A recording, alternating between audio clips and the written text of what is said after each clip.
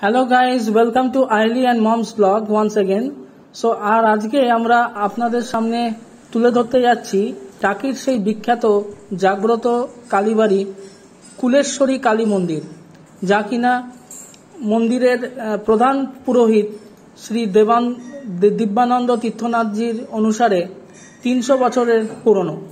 কিন্তু ওখানকার লোকাল লোকেদের মতে এটি চারশো বছরেরও বেশি পুরনো মন্দির। সো, সে যাই হোক সবার আগে আমরা বলি, এই কুলেশ্বরী নামটা কীভাবে হলো? তখনকার দিনে ইছামতি নদী মন্দির প্রাঙ্গণের সামনে দিয়েই বইত। আর নদীর সেই কুল থেকে মায়ের মাটির ঘট ভেসে আসে বলে এর নাম হয় কুলেশ্বরী মা কালী।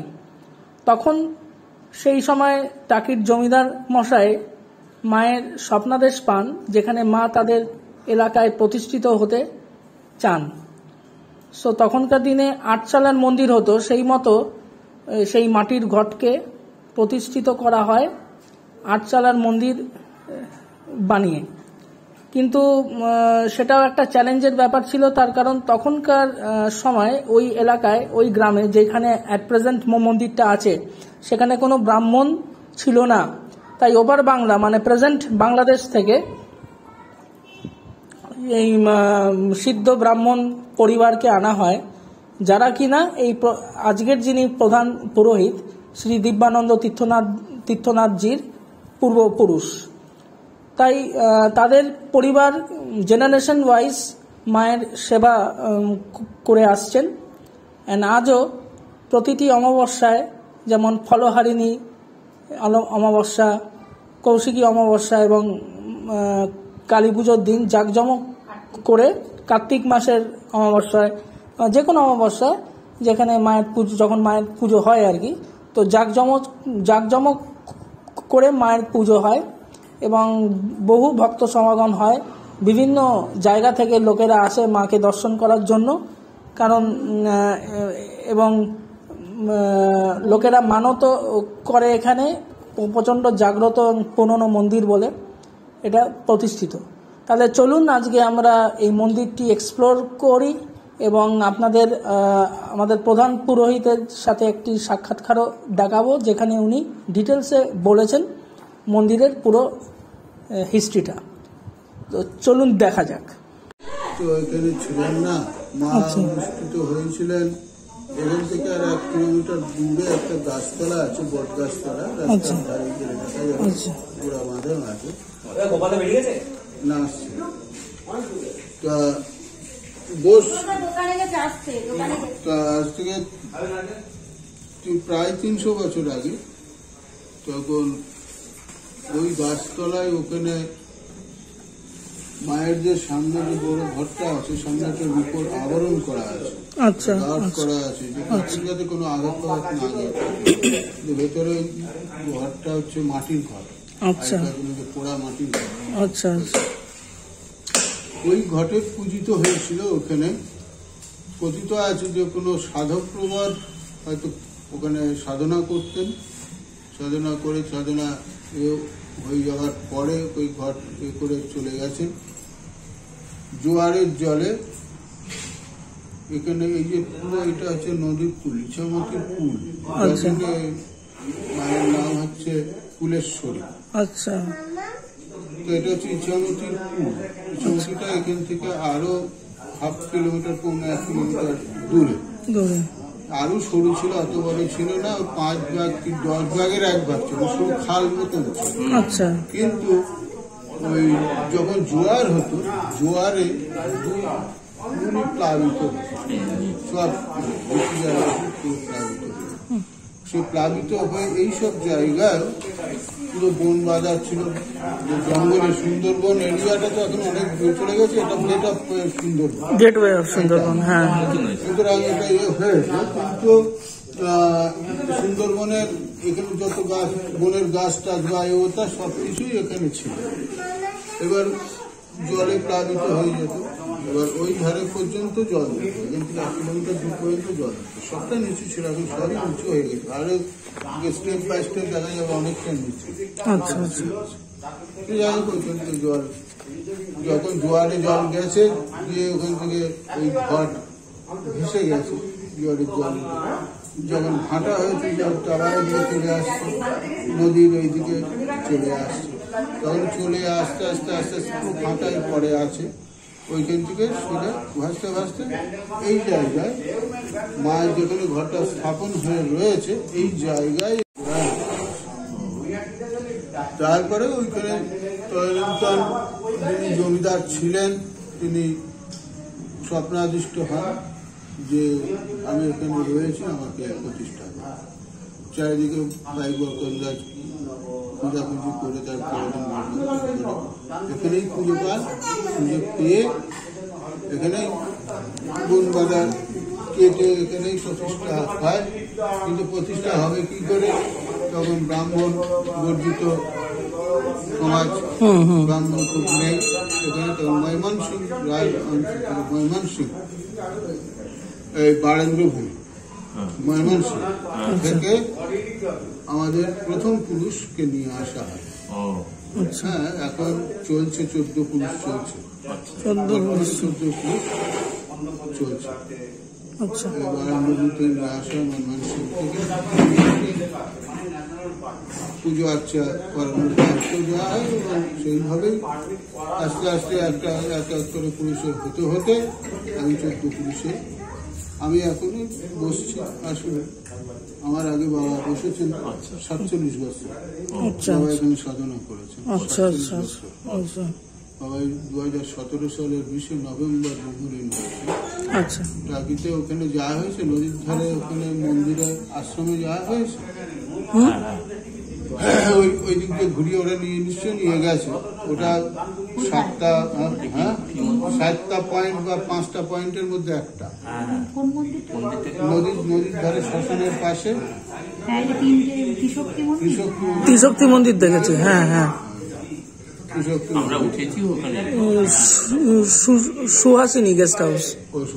Suhasini. Guest house হ্যাঁ সুহাসিনী। হ্যাঁ রা- রায়চৌধুরী ওখানে নিয়ে গিয়েছিল ওখানে পাশেই ওখানে যে জায়গাটা ওই যে মন্দিরটা তৈরি হচ্ছে ও আচ্ছা আচ্ছা আচ্ছা হ্যাঁ একটা সমাধিস্থল ছিল হ্যাঁ হ্যাঁ। তৈরি হচ্ছে ওটা। বাবারের সামনে পঁচিশ তারিখে নভেম্বরের পঁচিশ তারিখে ওনার মূর্তি প্রতিষ্ঠা হওয়ার ইয়ে ছিল কিন্তু মূর্তিটা এই মুহূর্তে তৈরি করে দিতে পারছে না। একটা সময় লাগবে বলে। আচ্ছা সময় মন্দিরটা কমপ্লিট করে দিয়ে সামনে চব্বিশে বৈশাখ বাবার জন্ম। আচ্ছা। চব্বিশে বৈশাখ মূর্তি প্রতিষ্ঠা। আচ্ছা। মন্দিরটাকে প্রতিষ্ঠা হয়ে যাচ্ছে।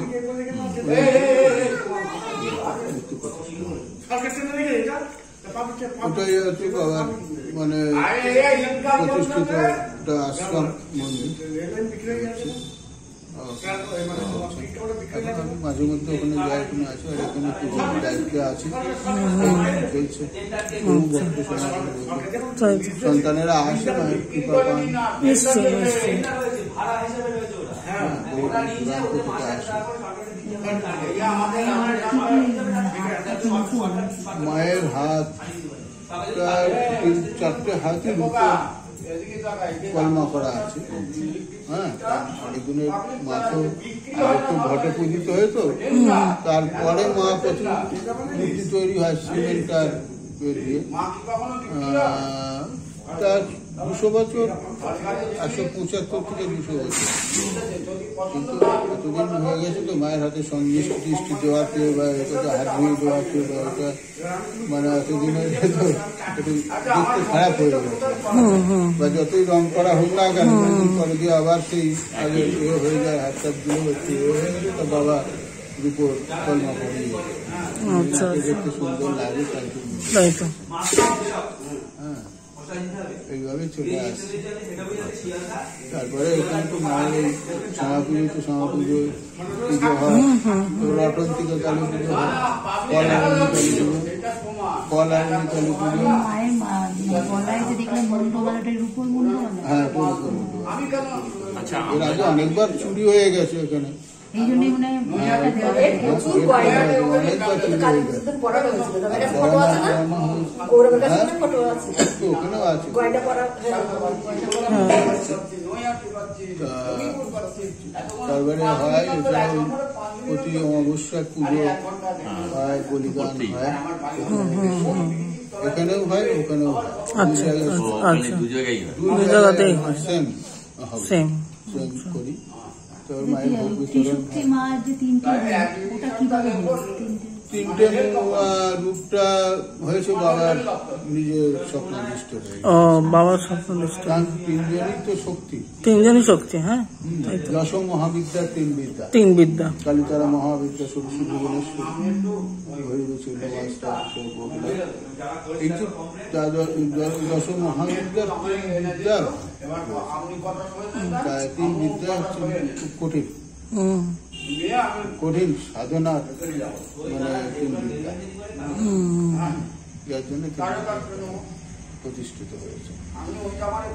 আর মা বগলার সময় তো এখন।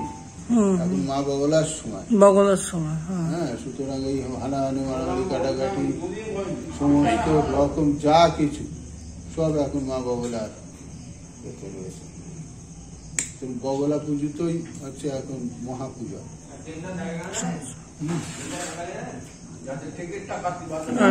পুজোর টাইমে পুজো কি আমরা পাঠাই পাঠাবো?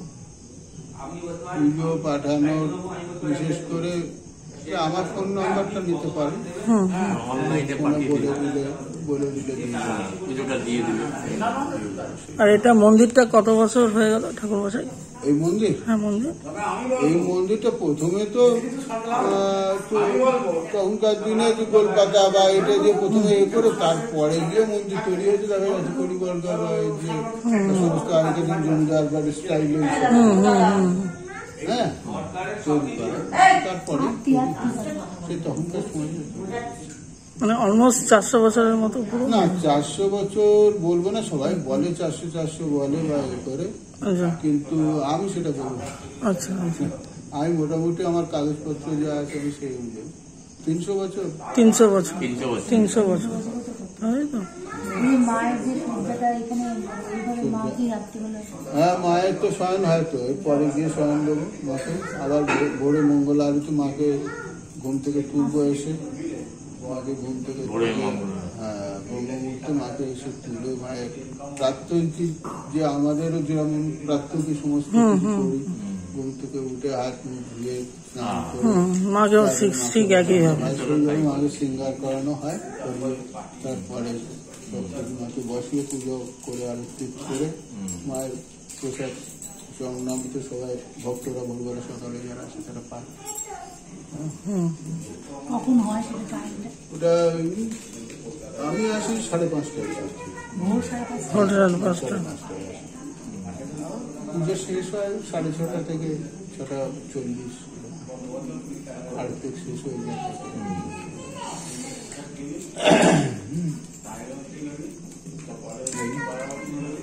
হুম। না রেগুলার চেঞ্জ করে না আর রেগুলার চেঞ্জ করতে পারি না। চেঞ্জ করানো উচিত কিন্তু তো সেই সময়টা পেয়ে সময়টা হ্যাঁ করা যায় না সপ্তাহখানি আর প্রতি অমাবস্যার আগে তো অবশ্যই। অবশ্যই করতে। এমনভাবে পড়ানো হয় হ্যাঁ সব কাপড়ই মায়ের কোমরে থাকে। কেউ বলতে পারবে না যেন আমার